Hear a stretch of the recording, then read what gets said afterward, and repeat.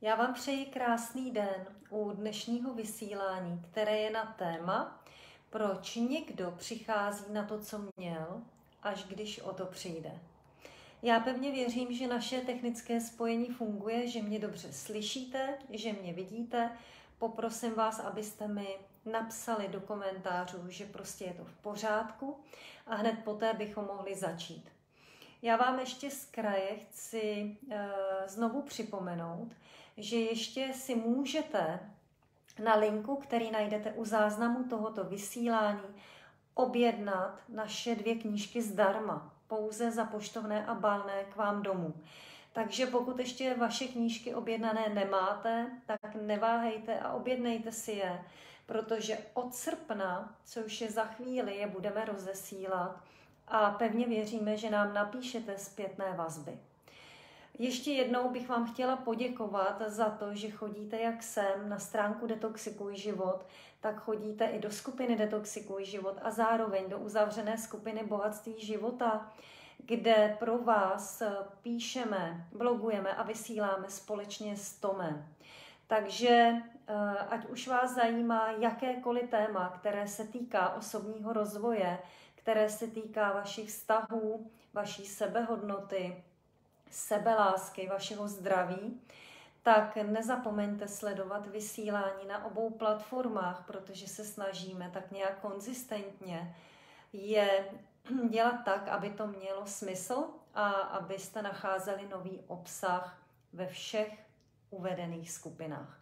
Já vás dneska ještě jednou vítám tady u mě na stránce Detoxikuj život a moc se těším na dnešní povídání, které, jak jsem již avizovala na téma, proč někdo přichází na to, co měl, až když o to přijde, nebo až když to ztratí. Víte, my lidé, my jsme, my jsme velmi často prazvláštní bytosti, bych řekla, nebo prazvláštní tvorové.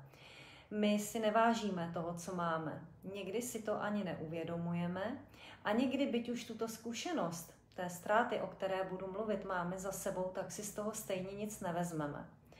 A otázkou je, proč se to tak děje a proč vlastně můžete, byť nechcete, navazovat vztahy s někým, kdo ve vás tu hodnotu nevidí, kdo si vás neváží a kdo třeba vás opustí, byť později se k vám chce vrátit a tak podobně. Víte, je to jednoduchý. My si zkrátka vážíme toho, co má pro nás hodnotu. A dokud my nezažijeme na vlastní kůži takzvanou křižovatku ztráty, tak my nejsme schopni si uvědomit let kdy hodnotu člověka. Hodnotu člověka opravdovou, byť by se pro nás třeba přetrhl.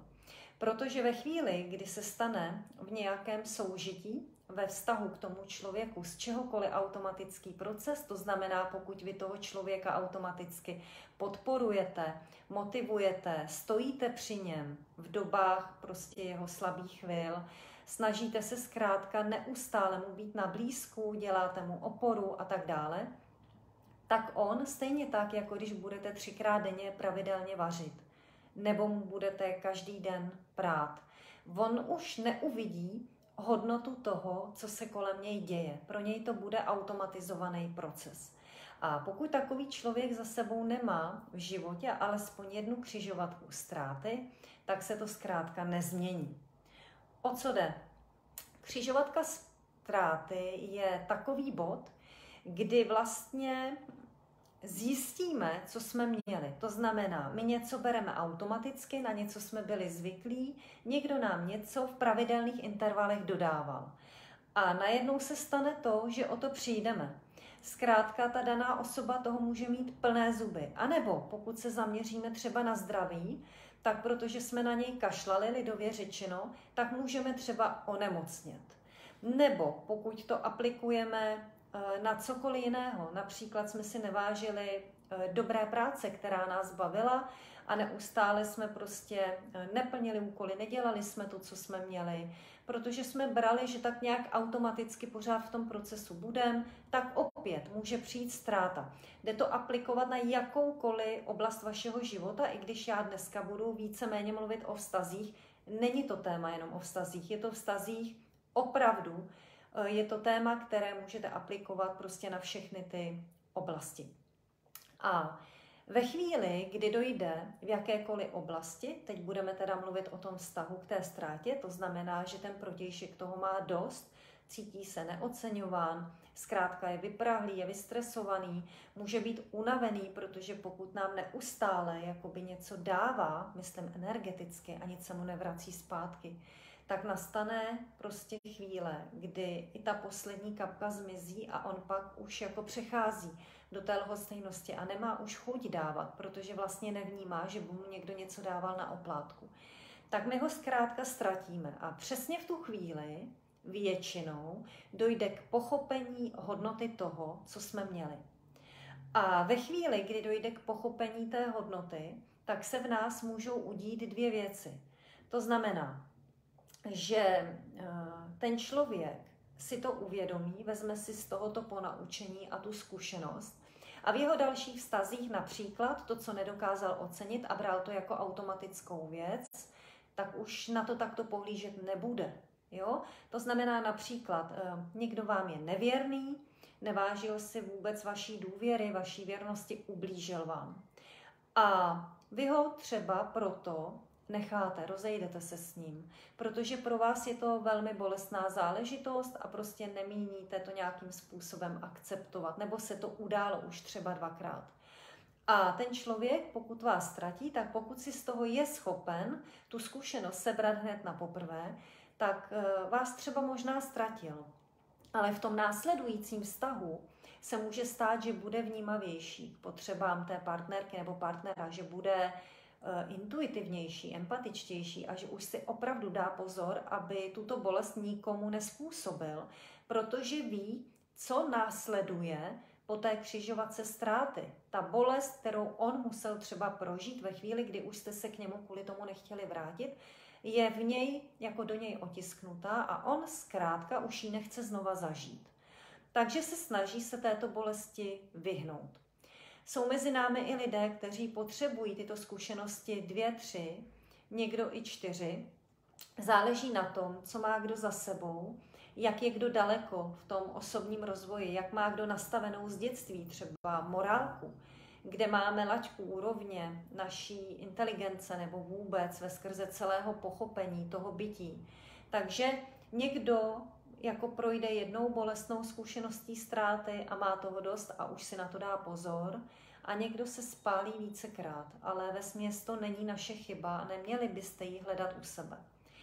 Víte, eh, to, že si někdo váží vaší objektivní hodnoty, to znamená, vy třeba víte, že si vás lidé váží. Lidé jako takový si váží vaší osoby, to znamená, třeba si vás váží příbuzní, váží si vás kamarád nebo kamarádka, váží si vás práci, tak eh, to neznamená, že si této vaší hodnoty dokáže všimnout i jedinec, který je po vašem boku. Jo, to znamená, ty hodnoty jako takové si všimne většinou člověk, který má za sebou už nějakou křižovatku ztráty v jakékoliv oblasti, ví, co to je, ví, že ve vás tuto hodnotu našel a už zkrátka znova o tuto hodnotu nechce přijít. A pozor, eh, pro někoho tu hodnotu zkrátka nemáme a neznamená to, že ji objektivně nemáme. Ale stejně tak to neznamená ani to, že ji pro někoho nebudete mít, až o vás přijde.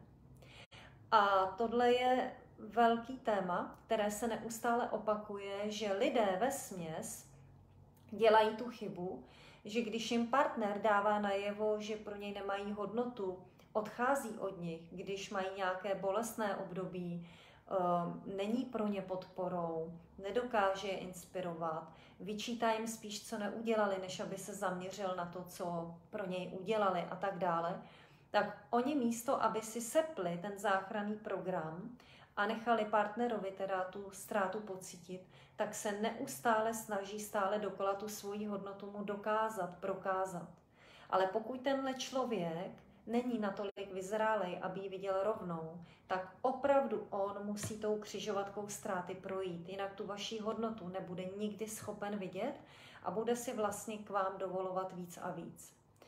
Ehm, bolest z té ztráty jako taková je obrovská zkušenost. Každý z nás jsme někdy udělali chybu v Let's Chance a něco jsme ztratili. Vždyť si vzpomeňte, když třeba hm, jste byli malí děti, tak eh, rodiče například vám dali zaracha nebo vám dali zákaz něčeho, co jste měli rádi, když jste něco dělali. A vy jste to strašně chtěli, vy jste třeba hrozně chtěli jít ven a být tam s přáteli, nebo jste hrozně chtěli tu vaši hru a rodiče vám ji prostě sebrali a na týden vám ji vzali, protože jste se nechovali podle jejich představ. A vy jste v tu chvíli prožívali tu bolest. Tu bolest, že to nemáte, že nemáte ten prožitek s těmi přáteli, že za nima nemůžete. A příště, když došlo k podobné konfrontaci, tak jste většinou byli poučeni. A protože už jste věděli, co ta ztráta může přinést a jakou bolest vlastně vám může dát, tak jste třeba jednali, reagovali jinak. Byli jste opatrnější, byli jste mnohem uh, víc nakloněnější k tomu, abyste s rodiči ty věci jinak probírali, například jste neodsekávali a tak dále. Takže ten příklad minimálně z toho dětství má každý z nás. A vlastně ten samý příklad, akorát v mnoha jiných odstínech, se opakuje celou naší dospělost nebo celé naše dospívání a potažmo potom dospělost. A já vždycky říkám, uvědomte si dvě zásadní věci. Každý z nás, každý z nás Každá bytost má právo na štěstí vedle jiné bytosti. A jednání ostatních, to znamená to, jak oni se k vám chovají, eh, rozhodně se nerovná vaší úrovni té hodnoty. To znamená, pokud se k vám někdo chová a jako ošklivě, pokud vás někdo ponižuje, pokud má někdo potřebu vás neustále opouštět, odcházet od vás, když zkrátka se mu zrovna něco na vás nelíbí. Nechává, nechává vás v takovém tom vzduchoprázdnu, kdy vy nevíte, na čem jste, kdy vám to je líto, kdy vás to bolí. A ten člověk místo, aby vám šel naproti a komunikoval s vámi, vlastně vás nechá, abyste se v tom vykoupali, tak eh, to vůbec nic neukazuje o vás. Ukazuje to o něm a jde o to, že vy nemusíte na tuto hru opravdu přistoupit. Jo, to znamená, vy máte nárok být vedle někoho, kdo vás nespochybňuje, kdo vás nezraňuje a hlavně, kdo neustále vás nemá potřebu testovat. A druhá velmi, velmi zásadní věc je jednání ostatních k vám nerovná se vlastně nerovná se nic o vás. To znamená, eh, tam jsou takové dva hlavní směry. Jo? Eh, buď to nemá s vámi vůbec nic společného a člověk, který se k vám chová nehezky, tak to dělá, protože má sám problém se sebou.